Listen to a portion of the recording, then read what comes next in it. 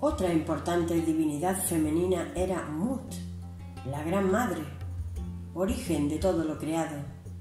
diosa del orden celestial,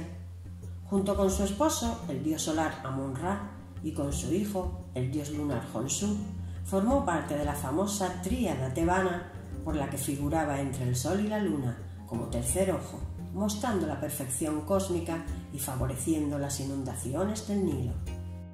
También es invocada en el libro de los muertos para evitar que el difunto se descompusiera. Como diosa del cielo, se representaba inicialmente como una hembra de buitre, llevando en sus garras un nudo mágico que simbolizaba el orden universal.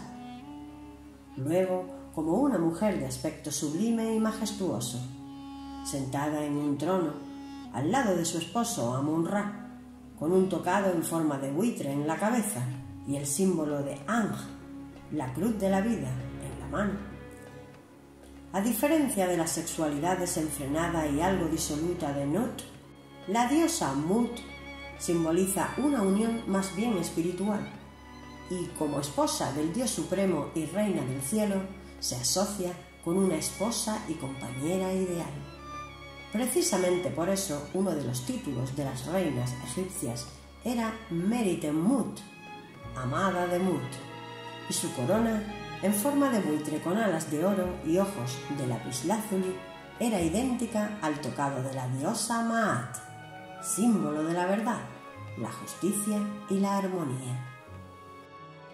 Inicialmente no era más que un concepto abstracto de justicia universal, de equilibrio y orden cósmico que impera en el mundo desde su origen y cuyo símbolo era una pluma de avestruz. Posteriormente se transformó en una diosa, hija de Ra, mujer coronada con una pluma. Aunque su figura es meramente alegórica, ya que nunca tuvo una gran participación en los mitos y leyendas, Maat es muy importante para la sociedad egipcia, ya que en la conciencia popular estaba estrechamente ligada al faraón en el sentido ético, moral y jurídico. El faraón, como suprema encarnación de la justicia humana y divina, debía encargarse de la conservación de Maat, obrando por la prosperidad y el bienestar de todo Egipto. Como la justicia egipcia tenía un rostro inconfundiblemente femenino, en ninguna otra civilización del mundo antiguo la ley no defendía tanto los derechos de la mujer. Las hijas mujeres tenían una mayor preferencia en cuestión de heredar los bienes de sus padres que los hijos varones. Al casarse, la mujer egipcia conservaba sus propios bienes y podía manejarlos a su antojo, sin necesitar aprobación por parte de su esposo.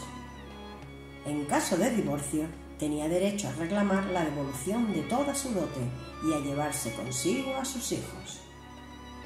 Podía ser iniciadora de la anulación de matrimonio si su esposo la agredía físicamente, si tomaba una concubina sin su previa aprobación o si no era capaz de garantizarle el mismo nivel de vida que ella había tenido en la casa de sus padres. Tal vez por esta misma razón Muchos hombres egipcios de posición económica y social elevada preferían buscar esposas en una clase inferior a la suya para que ésta se sintiera eternamente agradecida y no comparara constantemente la casa de su esposo con el hogar paterno. No en vano, la primera versión conocida del cuento de la Cenicienta nació en el antiguo Egipto, la historia de una pobre muchacha llamada Radopis, que se casó con el hijo del faraón después de que un halcón arrojó su sandalia sobre la terraza del palacio real.